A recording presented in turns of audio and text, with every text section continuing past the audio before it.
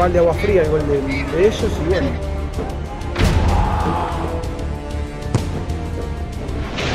Yo creo que los dos goles son, son eh, errores nuestros. En el partido tenemos que haber ganado, un error, uno siempre se hace caro y bueno.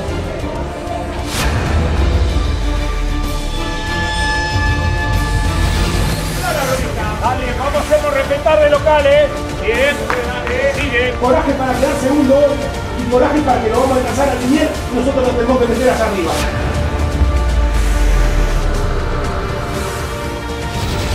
¡Queda apoyando! Nosotros cuando ponemos ahí arriba y metemos presión a lo de arriba. Que lo mata al centro, cabezazo. Por algo lo pusimos, porque realmente está jugando bien y bueno, bienvenido para él que haga dos goles. Destaquemos la aparición del Salvi, que debutó día en el partido, hizo dos goles.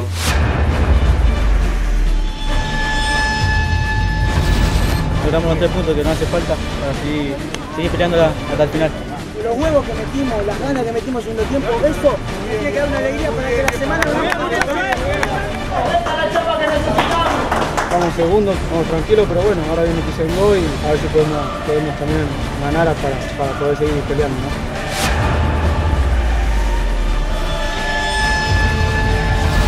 Les pido que dejen todo lo que es importante, muchachos. Y en cualquier momento vamos a agarrar la punta, pero necesito que este sea el partido. Vamos a partir de ahora las bolas del 100%, viejo.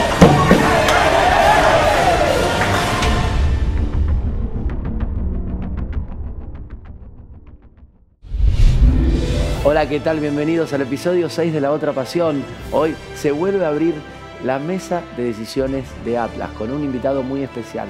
Empezamos a disfrutar del episodio 6. Venimos de un triunfo que dejó a Atlas en la segunda colocación de la tabla de posiciones. El ascenso está ahí nomás. Todavía falta un largo tramo del campeonato, pero ya me quiero meter en la mesa de decisiones. Ya está Maxi Ambrosio, nuestro presidente. Eh, media falta para Canepa, que todavía no llegó a la reunión. Debe estar llegando. ¿Dónde está Ricardo? Eh, la estrella, la, la- la estrella de la, de la mesa de decisiones tiene Tremendo. la ¿eh? autoridad suficiente para decidir él ¿A el qué hora momento. llega? eh, Me sorprende, eh, teniendo en cuenta el invitado que tenemos hoy en esta mesa de decisiones, que va a colaborar, Humberto Rondona. ¿Cómo le va? Bien, muy bien. Estamos, eh, antes de que empiece la mesa de Contento decisiones, últimamente. ¿está contento? Últimamente estoy contento. ¿Por qué? Porque disfruto. Disfruto pero ¿por qué que- últimamente? Antes no lo estabas. Porque cuando estás en competencia te cuesta bajar a la tierra un poco. Llegás todavía con la adrenalina, te tenés que recuperar. Fue febrero, marzo, venía muy golpeado. Entonces, ahora disfruto, me divierto, todo me importa un pito. Muy bien, eso es importante. Es mi tercer mundial, no tenés idea cómo lo voy a disfrutar. En la gira previa. Es como ir a cantar a- al, al Madison Square Garden y siempre cantaste en el, en el Teatro Colonial de Avellaneda. Claro. Esa es la es, sensación. es una buena. Bueno, nosotros estamos ¿Qué nos más queda a cerca. nosotros, no? ¿Dónde estamos cantamos más nosotros? cerca del Teatro Colona- eh, Colonial de Avellaneda. Yo toda mi vida fui al escuchame, yo toda mi vida, pero bueno, llegar a este evento tan importante, el segundo después de selección mayor, con un buen equipo. Te da eh, confianza. uno Y con el título de campeón sudamericano. Y viene de un campeonato sudamericano interesante te en Uruguay. Eh, pero nos queremos meter y te queremos traer un poco a lo que es el mundo Atlas, la primera división Sí. D del fútbol argentino. No tenemos la posibilidad, tal vez Maxi vos lo puedes contar, de seleccionar jugadores. Pero ¿sabes qué es lo bueno de Atlas? Que todos de alguna manera se sienten identificados con lo que mostramos nosotros, porque alguna vez lo vivieron y, no, y Humberto no debe ser la excepción. Sí, a mí no me resulta nada raro esto.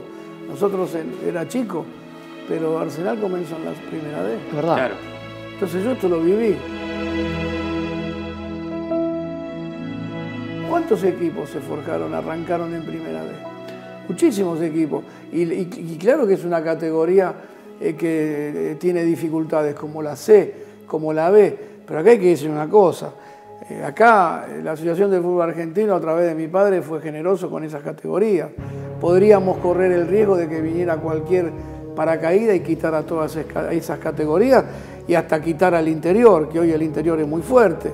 Por suerte no sucedió eso, pero yo sé que hay gente que piensa que estas categorías están, están de más. Y es al contrario, son Qué las lástima, categorías que forjan el fútbol argentino. Hay, hay mucha pasión y a nosotros nos falta algo. Esto empezó hace 10 años y lamentablemente no pudimos todavía obtener un resultado deportivo. Más allá del crecimiento institucional, no pudimos ascender. O sea, Atlas sigue en la Pero estuvieron cerca de ascender, tendrán que mejorar el equipo. Ponchame, ponchame acá, mirá, ponchame acá, sí. Eh, ponchame. Eh, Marcelo Sánchez, de 4 Iván Regule, de 2 Diego Sánchez, de 8 el Vasco, 5 Prado, eh, Román, el zurdito Baez y Silvio con Marco arriba. ¿Sí? Un partido amistoso eh, que para nosotros fue muy importante, había mucha expectativa, que jugaba Atlas contra la selección, contra, uh, no sé si pusiste el equipo titular, No, no, no. Nosotros hacemos estos partidos primero porque, porque sabemos que, que viene a jugar un club serio, que no nos va a complicar la vida con golpes y protestando, porque yo soy el árbitro. Llega un momento que me canso y digo, se terminó. Váyanse a dormir. Claro. Y yo la verdad no miro. Si me preguntan quién te gustó de tu equipo, no sé. Claro. ¿Qué crees que te diga? No sé. Cuando voy al interior y me dice, ¿qué vio? Nada. Si yo vengo a ver a los míos, que, que de acuerdo al partido de hoy, ¿lo saco o lo pongo el- otra vez? Eh, discúlpame, Humberto, pero llegó uno de los integrantes de la mesa de decisiones que llegó tarde. ¿Qué hace, Ricardo? Disculpe. Tardó mucho el colectivo. Ah, ¿viste el colectivo? Perdón, justo el que vino el técnico de la sub-20. Sí, cinco cuadras me dejó el que primero que agarré. ¿Qué querés? Ah, agarraste el primero. Tenés tarjeta sube, por lo menos. Tengo. Menos mal. Bueno, que seguimos con él. ¿Tuviste en el predio vos también? ¿Fuiste a ver el partido de, de Atlas con la selección? conocía, por supuesto. Es una de las tantas obras maravillosas que dejó Don Julio, ¿no? Hay que conocerlo para saber lo que es eso y tener conocimientos. Y me pareció, como que yo, yo lo escuché, lo que decía Humberto, con respecto a- al fútbol y al partido que, que- se disputó, tanto el que hicimos antes como ahora. Eh, una práctica de fútbol intensa, nada más.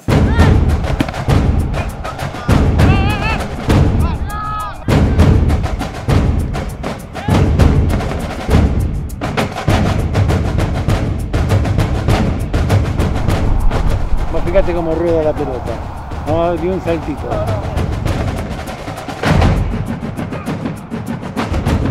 Yo pienso una cosa siempre cuando pienso en, en el trabajo de, de Humberto y, y en, el, en el tema de la sub-20. Ellos conviven con chicos de 16, 17, 18 años, que más allá de verlos jugar al fútbol, enseñarles a jugar al fútbol, me imagino que debe haber mucho están de, formando. ¿No? de, de- de enseñarles. Es más difícil dirigir chicos que grandes. Y, y- y va mucho más allá del fútbol, me imagino, Sí, ¿no? mucho ¿Cuál es el trabajo que se hace a, a nivel didáctico, digamos? Y eh, estos están encaminados, hace cuatro años que están con nosotros la mayoría. Entonces los encaminás en el tema de disciplina, y- porque a los chicos hay que enseñarles no solo a jugar, hay que enseñarles a comportarse en un avión, a tratar bien Que a la quizás suben por primera vez en su vida. Que quizás suben, claro, y que el avión se mueve y dice, uy, la, ¿cómo? Eh. Pará. No, no, no, ¿me entendés? Hoy los padres, la familia del chico, el representante del chico puede complicar mucho. Los padres se quieren, los padres, el abuelo, la abuela, todo. se quieren salvar. Y después escuchame, un chico de 19 años que juega un gran mundial. Bueno, de Correa, 15. vos tenés el caso de Correa, eh, figura, no, no figura, pero ha hecho un pase al Atlético Madrid impresionante. Sí, pero vos fíjate que eh, después todo lo que le pasó. Lo miraba siempre a Atlas. La verdad que tienen un gran equipo y a nosotros nos sirve mucho porque nos estamos preparando para el Mundial, enfrentar a un equipo así. Tuvo un buen sub-20. a mí me Estuvo buen apoyado, estuvo bien apoyado. Excelente la gente del Atlético de Madrid, que le pagó la cirugía en Estados Unidos. Sí, ahora en julio cuando termine el Mundial me voy de vuelta para el Atlético y esperemos seguir así mejorando. Bueno, ¿qué tal los, los defensores de acá? ¿Son aguerridos, los de la D? Sí, son fuertes. Ya sabía que, que iban a ser fuertes, pero bueno, como te decía, son, son grandes jugadores. Espero que sigan así por el bien de Atlas. No sé cómo habrá hecho Arsenal cuando no había fondos y había que armar un plantel competitivo para ir ascendiendo, para ir pasando de categoría, como finalmente de la D llegaron a la primera. Ricardo lo habrá visto jugar en la C, obviamente. ¿Vos lo viste sí. en la D? ¿Jugaste contra Arsenal en...? Claro, en la final, ese. ¿Cómo no, no? hicieron, no hicieron cuatro, yo jugaba para la defensora de Almagro. Este, no hicieron cuatro en la cancha de Boca, 4 a 1. Y ascendió. Era, era un equipazo, Arsenal era un Lo que equipazo. pasa es que era distinto, antes jugaban No, por supuesto. los, los maridos de mis tías, era todo muy... Bueno, pero fue no- todo a pulmón, fue Hay que- todo que la rifa de la pelota, que la rifa de la camiseta, Claro. que los choris, que esto, todo sumado. Lo que pasa es cuál es el gran secreto, que no se choreaba la plata. Ese es el gran secreto. El fútbol no da pérdida, lo que pasa es que se chorean la guita. Los que están en ese momento se chorean la guita. Y no les importa nada porque se van, vienen otros, arman otro equipo. No salen campeón, se van, dejan otro chorro de plata debiendo. Y así se hasta que de- hoy deben todos. Y el que dice que no debe es mentira. Esa, esa- no, esa es una premisa nuestra desde el principio, como dijo Humberto, de hacer las cosas con esfuerzo, con sacrificio y con honestidad. Y me parece que esa es la fórmula, nos, nos lo decía don Julio. Mira, teniendo en cuenta que el máximo eh, referente de Atlas vino en colectivo y caminando cinco cuadras, acá nos están choreando un Pero mango. mi viejo lo quería mucho. eh. Porque yo lo cargaba, digo, ¿qué hace? el tenía- viejo? Está el viejo de acá, que ese, ese hombre bueno, me decía. Ahí se nace, ahí se vive, ahí se aprende. Era un hombre eh, que. eh, don Julio, la, la primera D existe pues, gracias a él. Claro, acá hubo Existe, gente que, gracias a él que la acá bancó. hubo gente que si llegaba al poder desaparecía, Desaparecía la la D, D. la C, la B, No el ninguna- argentino D, el argentino sé, la D seguro desaparecía. desaparecía. Y eso es lo grave. Este, Bueno, por suerte... y- Por eso no tiene que llegar esa gente. Pero ahora quiero meterme, Humbertito, lo que es para nosotros el otro vestuario, porque esto de no robar el dinero, de generar recursos, implica que tengamos un departamento de marketing, un, un departamento eh, de planeamiento estratégico para trabajar para recaudar fondos, para hacer acciones que hagan crecer al club. La acción de la pelota por pie ya está avanzando Sí. fenomenalmente, ya la estamos por concluir y ahora estamos arrancando con, con el, con el tema de los refundadores, que seguramente Claudio lo, día a día lo, lo va mejorando y lo va desarrollando y lo, lo va a explicar más, más claramente. Nos metemos en el otro vestuario. Mamita, ¿cómo están dando lo de la pelota por pibe, Germán? Es impresionante. Yo te diría que tenemos casi todo cerrado.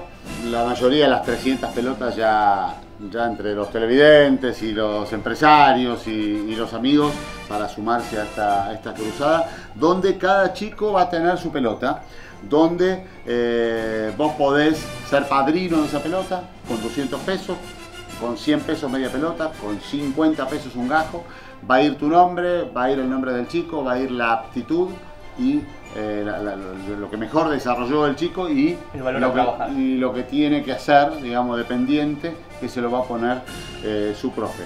Ahora tenemos que buscar una manera de sumar ingresos para después poder mantener el plantel, para poder mantener las instalaciones y vamos a hacer lo que se llaman los socios refundadores. Atlas cumple eh, 64 años el 17 de agosto y ahí la idea es que 64 socios refundadores se sumen al, al- al proyecto. ¿Cómo? Bueno, nada, tenemos un una catarata de, de- de alternativas para que se viva una experiencia de Atlas, Sí. que no sea que el socio refundador tenga algo diferencial. Lo, lo primero que se nos ocurrió, eh, lo primero que pasó es que ya tenemos el primer socio refundador y después ahora tenemos, tenemos que ir a crearlo. Apareció rápido. Pero fue muy loco, fue muy loco. ¿Cómo te enteraste, Omari? Eh, lo vi en la tele y me gustó, me interesa porque es un club que va a creer, entonces me gustó. Bueno, la verdad es que lo conocimos a Omari, que viene desde Zanzíbar. ¿Dónde queda Zanzíbar? Soy de Zanzíbar, Tanzania, en este de África. Sí. Y viniste a vivir a Buenos Aires. Sí, sí, sí, hace ¿Sí? un año. Eh, Omar, ¿y cómo te ves concentrando con este, el equipo, por ejemplo, previo a un partido? Ah, no, o sea, un día me invita, voy a jugar con... Directamente quieres salir a la ¿Y cancha. qué jugás? ¿Qué jugás? Yo, Sí. defensor. ¿Defensor? Qué grande. Ahora le decimos a Luquita Vallejo que, Que venga a entrenar. que directo. una de las experiencias va a ser que vas a venir a entrenar con los jugadores. Otra va a ser que vas a salir a la cancha con los jugadores, con el que vos elijas del equipo, que va a tener tu nombre, que es Omari, ¿no? Omari. Vas a poder ir a entrenar con el equipo. Y también, ¿por qué no eh, hacer una reunión, una comida con el cuerpo técnico, con el presidente del club, con los jugadores y también compartir vivencias, ¿no? La idea es invitar a todos los que nos ven, como en este caso Mari, y cuando vengan al Ricardo Pugo a alentar al equipo del continente, puedan también hacerlo, vivenciarlo de una manera particular, diferente, digamos. Omari, bienvenido eh, a nuestro equipo. Bienvenido al Eh, y, la verdad, empezar con un socio refundador de San Sibar, que vino con la camiseta de San Sibar, ah, no tiene precio, diría la tarjeta. Interesante esta nueva Y pi- y idea. pintoresco en Es este caso. pintoresco, realmente muy pintoresco. Bueno, vamos a hacer un alto en la mesa de decisiones. En un ratito ya empieza a rodar la pelota. Eh, hoy una mesa de decisiones reflexiva.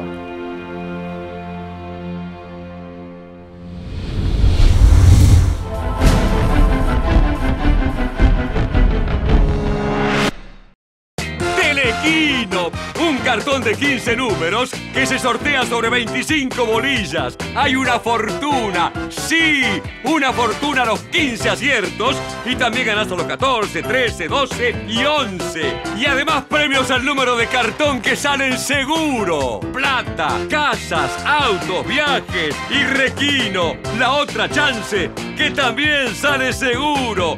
¿Quién te da más?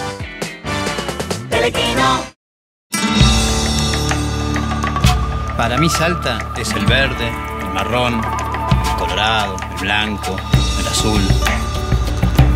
Para mí Salta es la calidez de un poncho, esa que sentís en el abrazo de su gente. Para mí Salta es una canción, acompañada de un buen plato y un gran vino. Para mí, Salta es descubrir en cada momento una experiencia nueva. Para mí Salta es una provincia llena de provincias y siempre te estamos esperando. Salta, tan linda que enamora.